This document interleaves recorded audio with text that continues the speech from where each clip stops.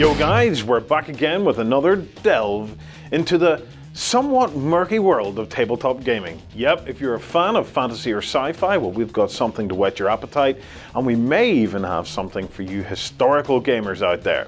So, sit back and relax as we take another whirlwind tour of what's cool in the industry and what might just be coming your way sometime soon. Hi-Tech have been releasing some really cool gothic sci-fi models lately. And while they've previously limited themselves to the kind of traditional space knights that you could play as proxies in the likes of 40k, well they've just created their first vehicle, the Landcopter Eclipse. Of course, Hi-Tech have not interrupted the production of their sci-fi knights, with their range continuously being updated with a number of chaotic terrorizers, more of their imperious arc fathers, and an extension of the existing range of the Biotech Covenant miniatures. So if you're looking for something to spice up your existing 40k forces, then the Arcfather models are somewhat larger than the Games Workshop models, typically coming in around 45mm to the eye. But if you don't mind an epic warrior to lead your army, and let's face it, who doesn't, well then why not go and check them out. Mercs. Well, it's a fast-paced sci-fi skirmish game set in the near future where mega corporations employ private armies to wage war for resources and profit. Which kind of sounds a bit like what's going on today. Anyway, I digress. The latest faction to hit the scene are the Texico faction. These rootin' tootin' hombres owe their concept style to the Wild West, as much as they do to the near future. Anyway, so expect some red hot two gun action when these gunslingers take to the table. And if you haven't seen any of the Mercs miniatures before, then take a look at some of the rather cool starter sets available for the game. Our buddies over at Worthy Painting are currently getting our starter sets ready for some top sci-fi action. So stay tuned on the Beast of War website for updates regarding our upcoming coverage of Mercs. If you're a fan of historical gaming, then you'll be excited to hear about the launch of Pike and Shotte, the wargame from Warlord Games, set around the wars of the 16th and 17th century. That's right, you'll be able to field ranks of roundheads and skirmishing bands of boozed up Irishmen versus the stuffed shirts of the Royalists. Perhaps you could even turn the tide of the English Civil War. To shore up your ranks for the launch, Warlord have released a box set containing soldiers from the new model army. So any Royalist players better beware as you bring the elite ranks of Cromwell's finest to the table. So remember to look out for the release of Pike and Shotte at Salute 2012 in the London Excel Centre and check out the offers on the Warlord Games website. Hey, you might just pick yourself up a bargain. Ammon Miniatures have let loose another pair of fantastically fun miniatures in the form of Fat Man and Gobleon. One rather rotund superhero, and the other the Emperor of all Goblinhood. Ammon have a great cartoon style and you can always rely on them to get something with a little bit of humour in it.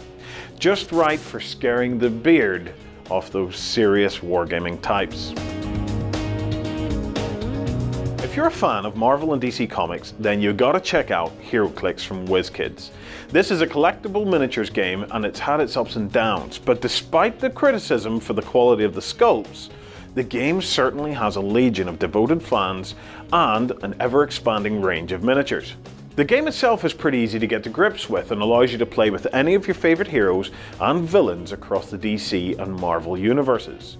You might even indulge in a bit of crossover warfare with Spider-Man vs Batman or Superman vs the Hulk.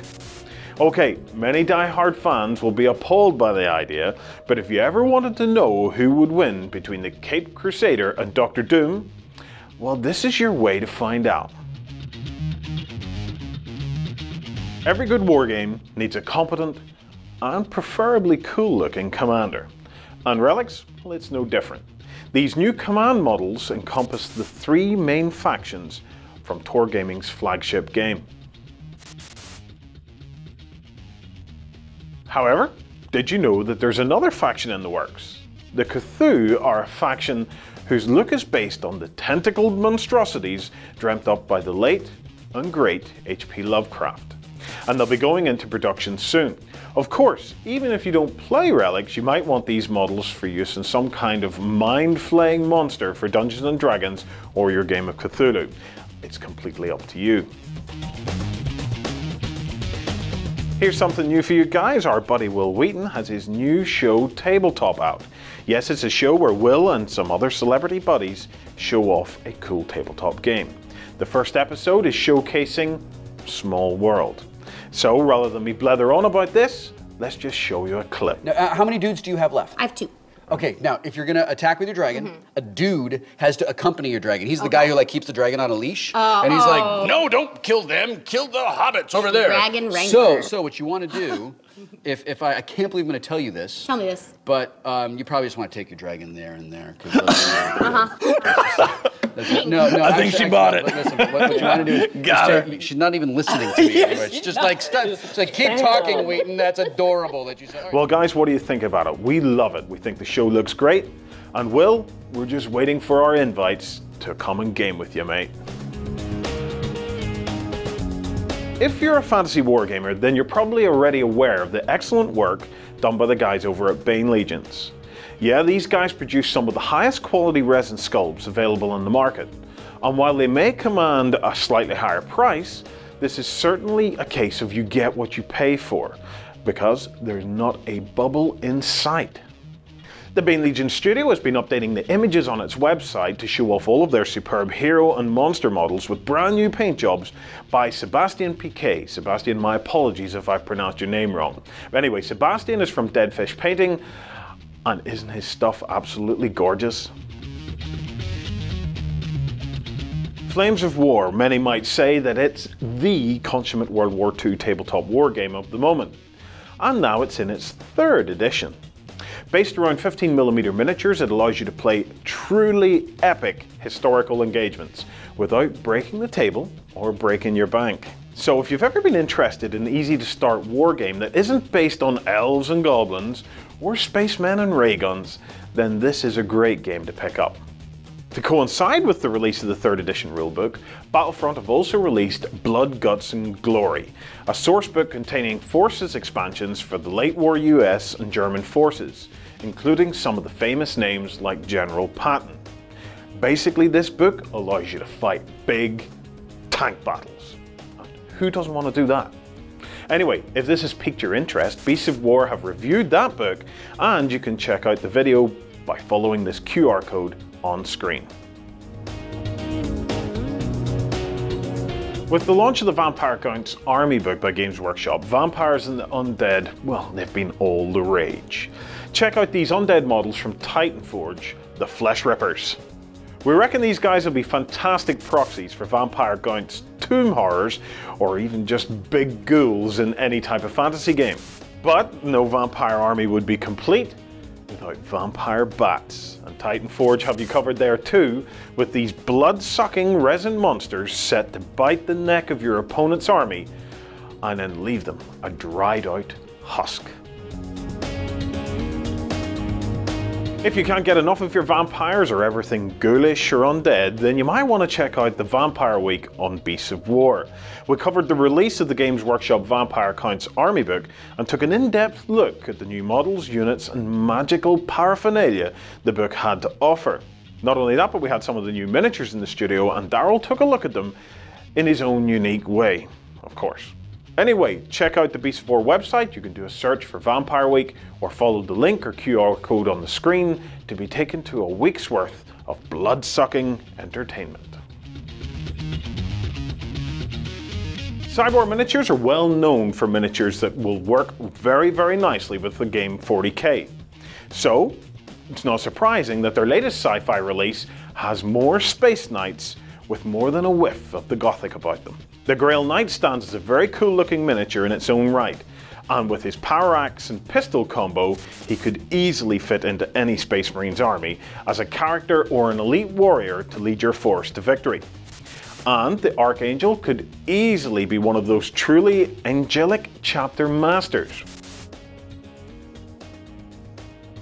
But that's not all. Did you know that Scibor also do fantasy miniatures? If you're a regular viewer of On the Table or a visitor to our website, you'll no doubt be aware of that. But for the rest of you, just have a look at Scibor's latest dwarf models. Over the last few episodes, we've been showing you how to play Infinity. This episode's no different, so have a look at this. In this video, we're going to introduce the Impetuous rule. Impetuous is a characteristic that some Infinity troops possess. The impetuous soldier longs to engage in combat with the enemy and feel them die by his hands. An impetuous trooper gets one extra order that only he can spend. This impetuous order has its own rules. All impetuous orders must be performed at the beginning of a player's active turn, before spending the orders in the normal orders reserve. It is compulsory that one of the short skills of an impetuous order must be to move, always towards the nearest enemy, even if they are out of his line of fire. And with an impetuous order, the model must always move the entire first value of its movement attribute but it can move less if during its movement it engages in base contact with an enemy. The other short skill of the Impetuous Order may only be to perform an attack, to dodge, or to move again. Bear in mind the sequence doesn't matter, so for example, the player can declare to attack first, and then to move. A player can stop his Impetuous model from acting by spending one order to cancel the Impetuous Order.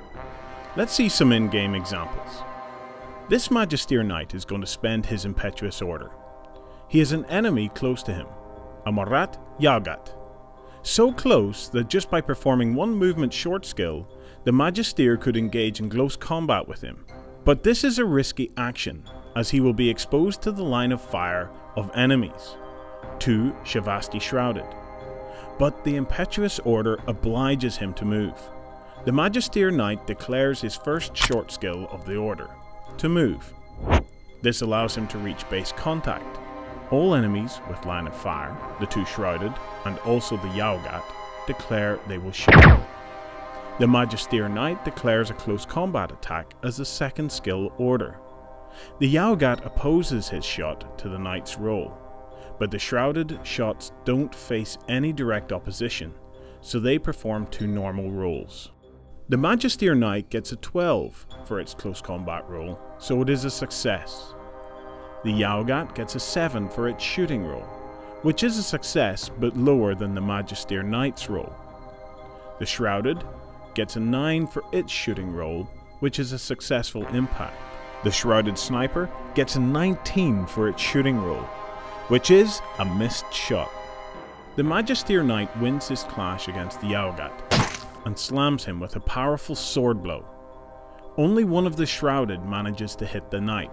The Yaogat must make an armor roll, due to the impact received from the Magister Knight. But the Knight must also make an armor roll because of the Shrouded's successful shot. Stay tuned in future episodes where we can delve even deeper into the game of Infinity. And if you can't wait for that, remember we have a dedicated Infinity Hub over at Beasts of War. That wraps up another episode. Remember, the Beasts of War team are going to Salute 2012 in the London Excel Centre, so in future episodes, expect a little bit of flavour from the event. And if you're lost for something to do on Saturday, the 21st of April, and you're in the proximity of London, then you might want to call in to Salute, where you'll get to see not just us, but some of the biggest names in the industry and get involved in some really cool events and exhibits like the Beasts of War Hobby Lab. If you want to find out more, you can visit the Beasts of War website, follow us on Twitter, like us on Facebook, or check out our YouTube channel, where you might find a few Easter eggs that haven't appeared on the main Beasts of War website. If you want more information on Salute 2012, then check out the Salute website. And until next time, yes, of course, you have been watching On the Table.